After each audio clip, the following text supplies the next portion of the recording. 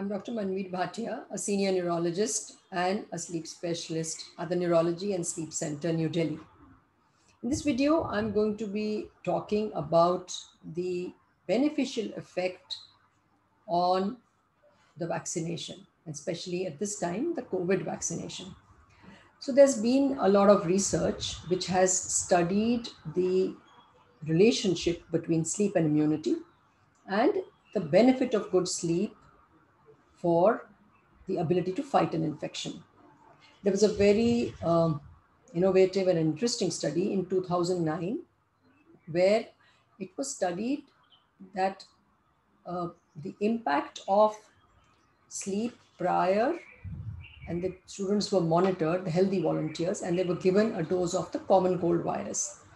And it was assessed that who would be more likely to get this, the common cold. And it was found that those who had poor sleep, either in duration or poor efficiency, they were more susceptible, almost to the tune of two to four times more likely to get the cold if they were sleeping less than six hours. So that was one part of it, that lack of sleep can make you more susceptible to get the infection.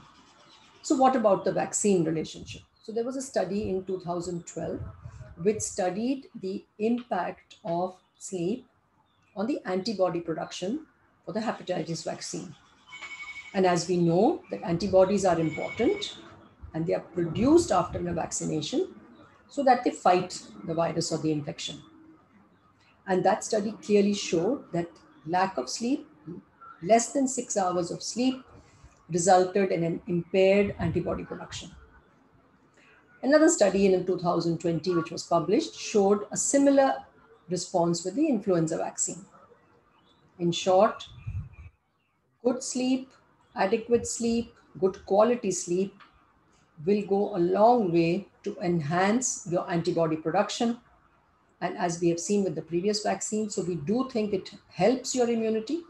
So if you are planning to take a vaccine or if you've taken a vaccine, please ensure that you maintain good sleep prior and few days after the vaccination. Take care and stay safe.